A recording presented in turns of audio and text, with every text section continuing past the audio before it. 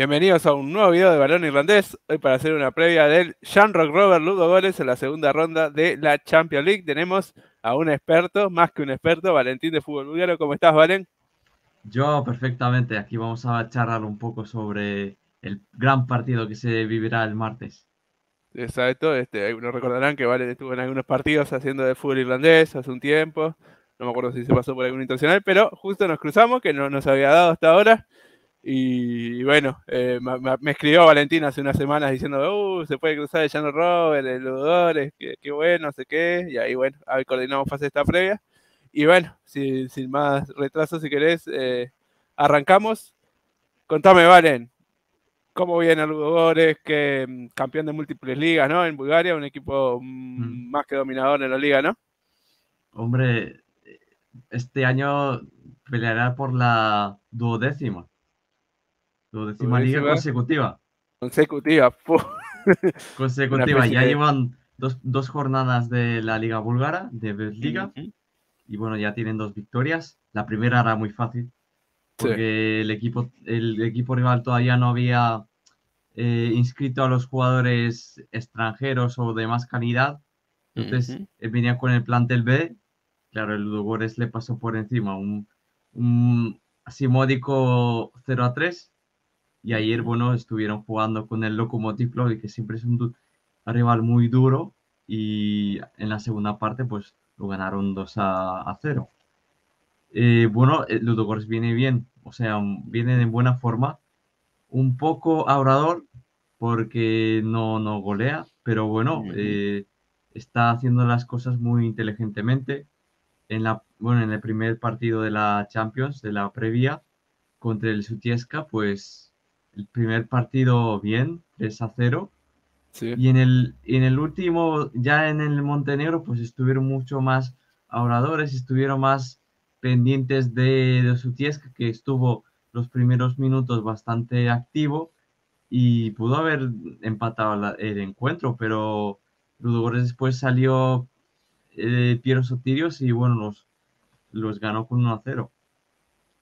Bien, bien. Entiendo que, bueno, el lugar es como decir, está recién empezando la liga, a diferencia de Jean Robert, que, ya está en la mitad de la liga, ¿no? Que la liga de Irlanda se juega distinta a las otras ligas. Este, bueno, sí, como decís, ganaron el, ganaron 3 a 0 en el global, ¿no? Eh, espera, espera, perdón, 2 a 0. Sí. sí, sí, 3 a 0 en el global.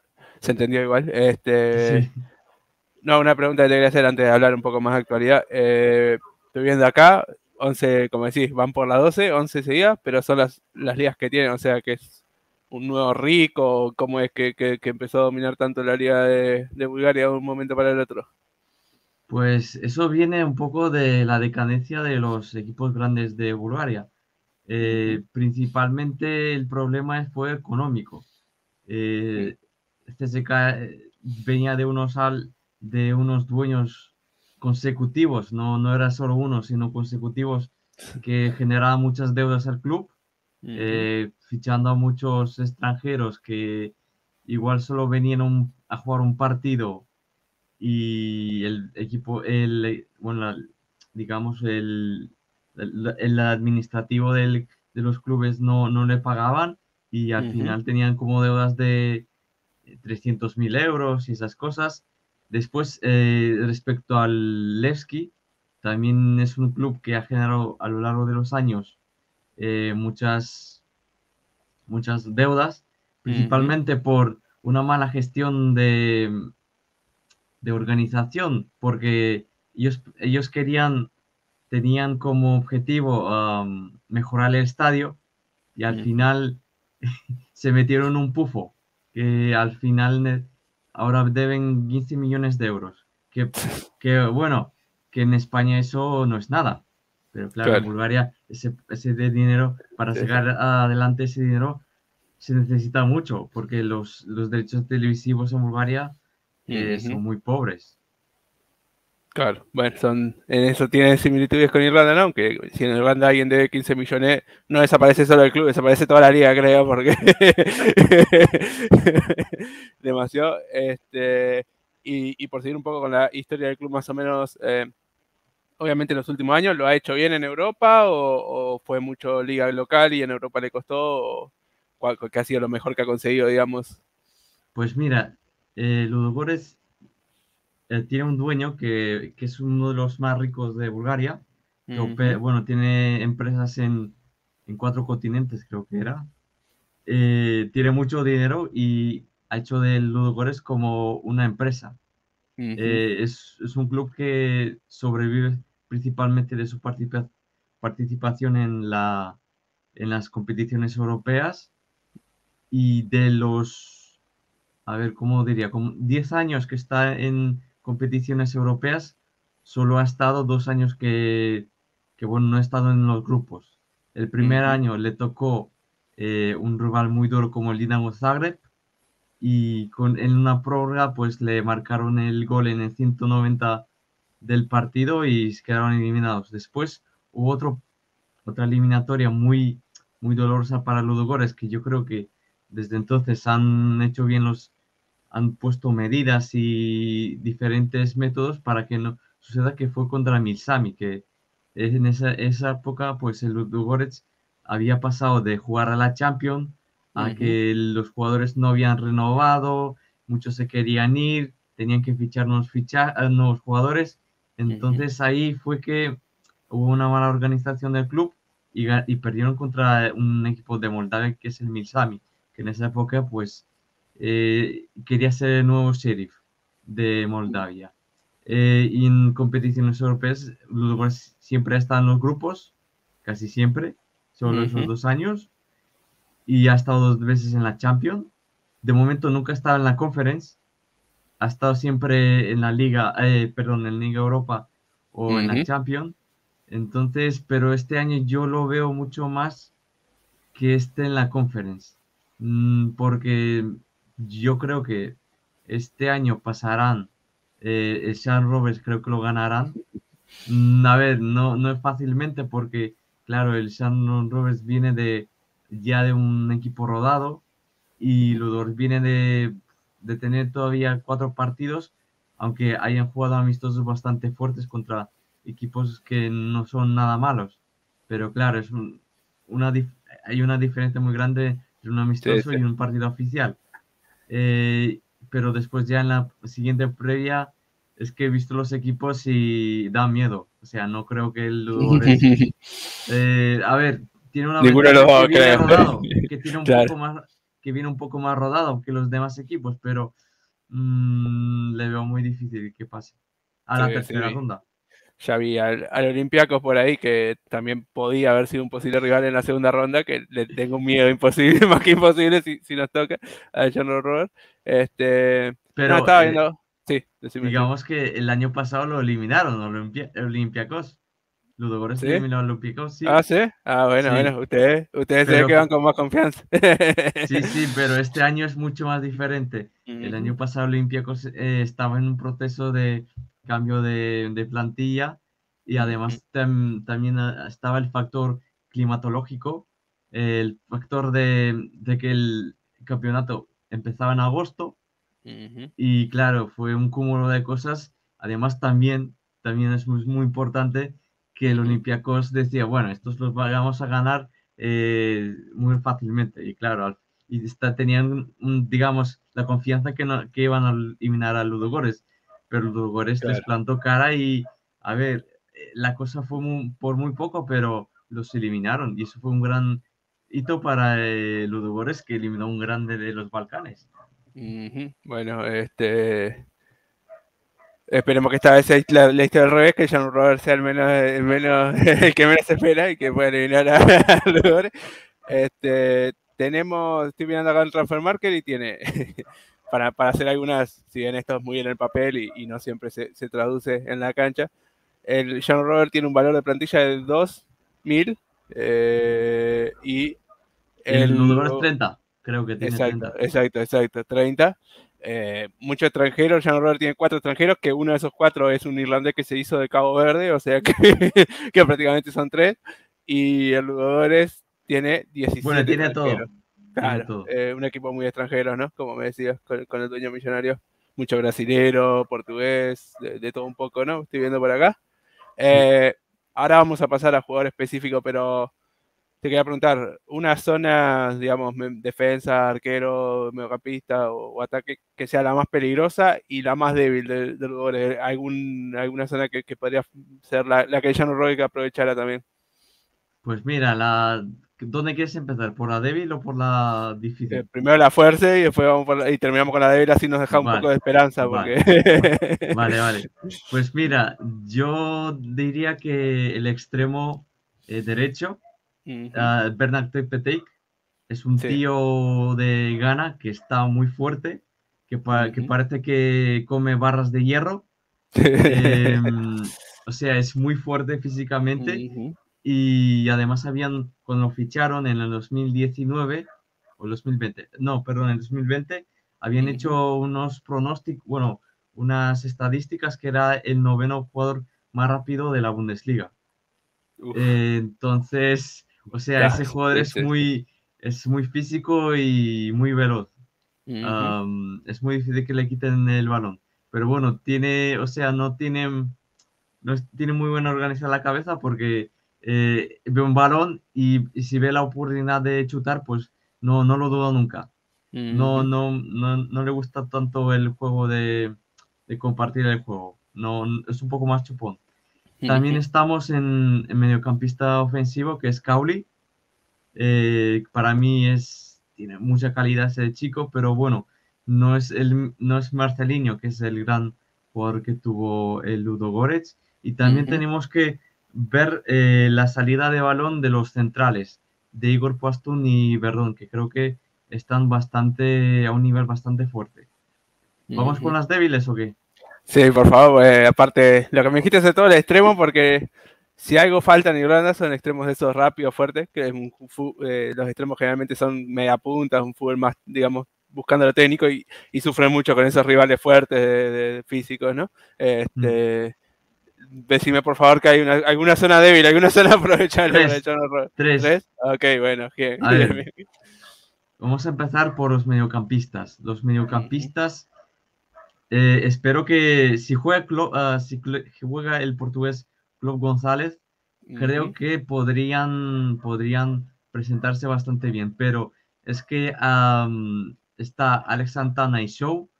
Eh, Alex Santana es un jugador brasileño que todavía creo que no se ha adaptado al juego europeo, es muy de jugar a lo brasileño eh, y, no tiene una disciplina táctica tan buena y a veces le cuesta perder el balón.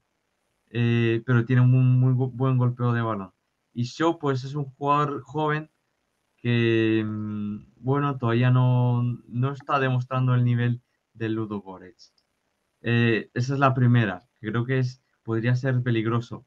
Además, el Ludo Goretz está buscando jugadores ahí y ya suena un jugador que es Alfa Semedo, que viene del Victoria Guimaraes. Después está el extremo derecho, donde está Cicinho. Es un jugador brasileño de 34 años, que bueno, que en los foros del Ludogorets dicen que ya, bueno, está, eh, que se debe retirar ya. Em, deja mucho que desear en fase de defensa. Es un, es un lateral brasileño que quieres, son más ofensivos que defensivos. Ahí podría ser eh, un punto, otro punto de, de, los que estamos hablando.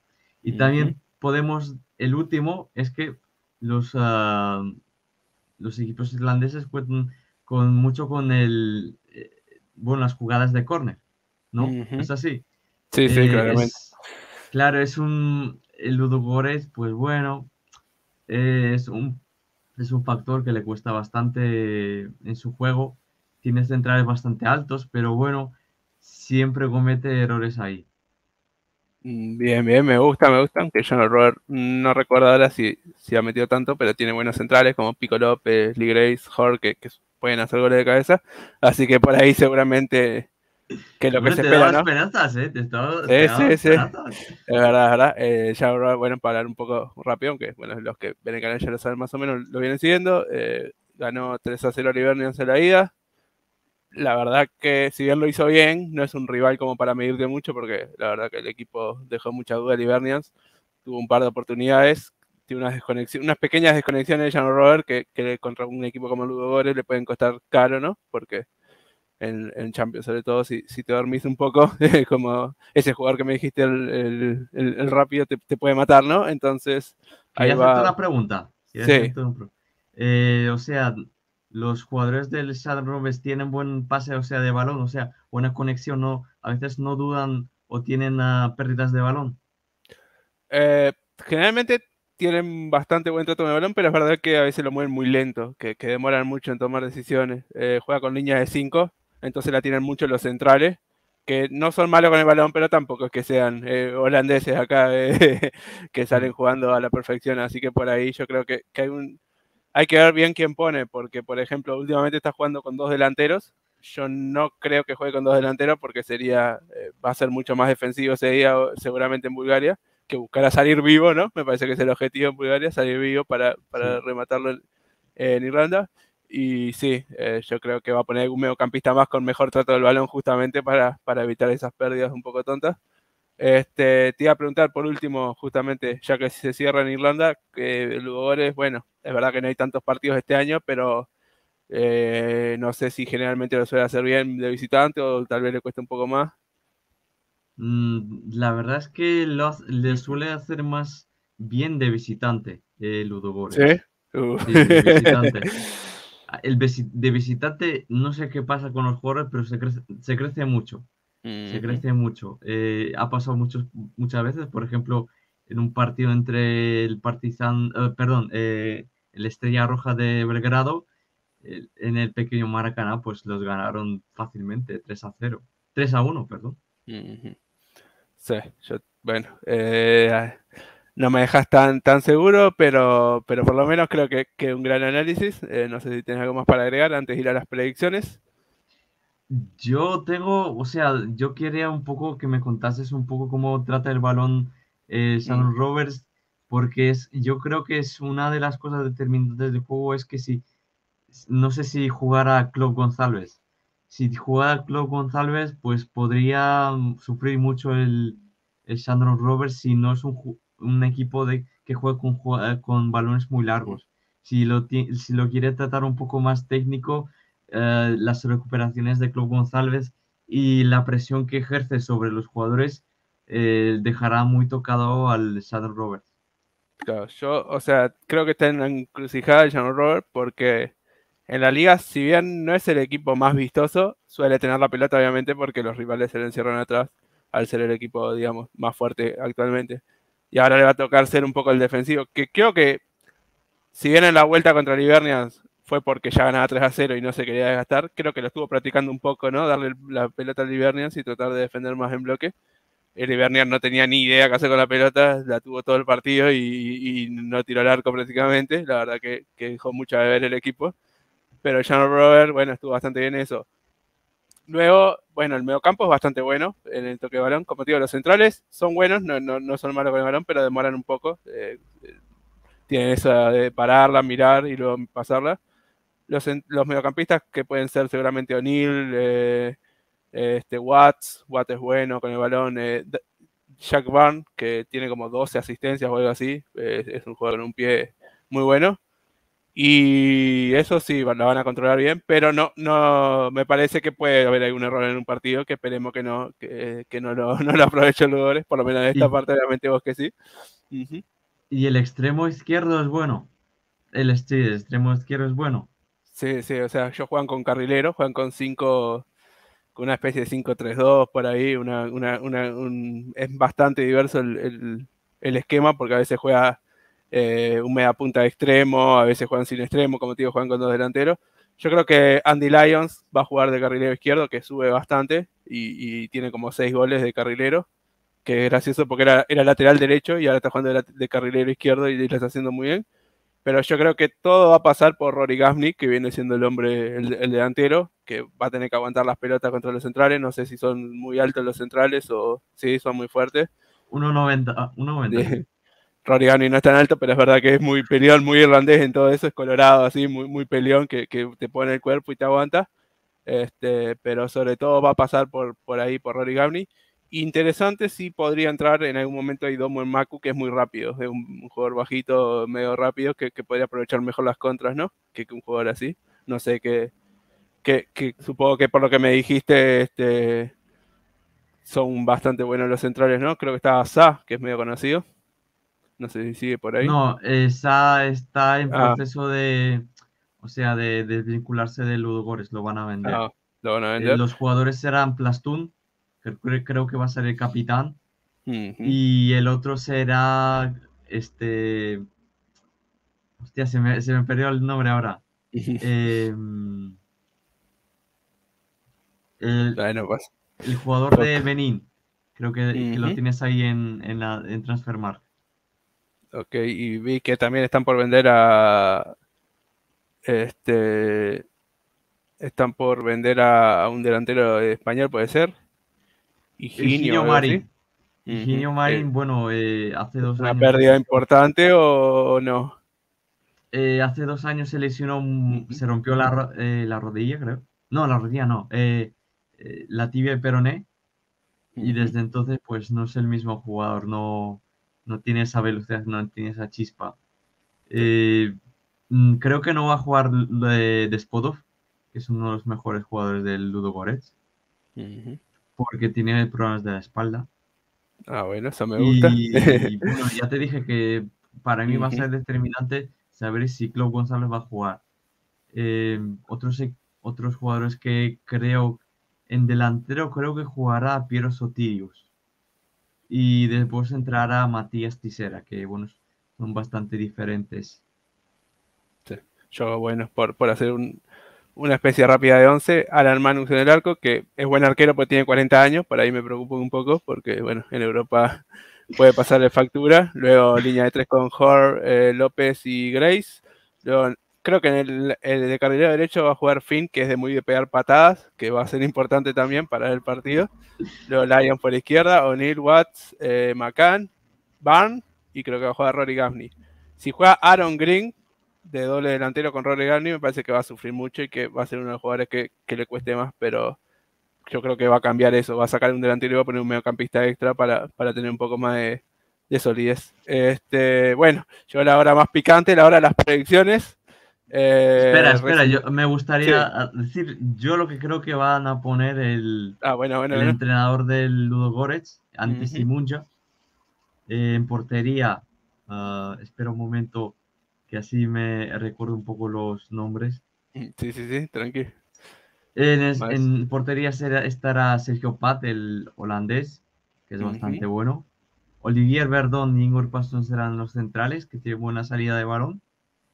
Em, creo que de lateral izquierdo estará Neriakov y de derecho estará Sicinio, que creo que es el punto de talón más, más, más débil. Aquí veo que el, Claudio González está lesionado, ojalá lo pueda estar operativo, pero bueno, seguramente serán Show y Alex Santana, pero después de esos jugadores no tienen, el no tiene ninguna alternativa a, central. Eh, mediocampistas ofensivos va a ser Kauli y de extremo será Bernard Peteik y en el otro pues estará, no sé si estará Rick Eric, um, el brasileño. Mm. Y de delantero, pues seguramente estará o Piero Sotirios o Matías Tisera. Ambos son bastante peligrosos.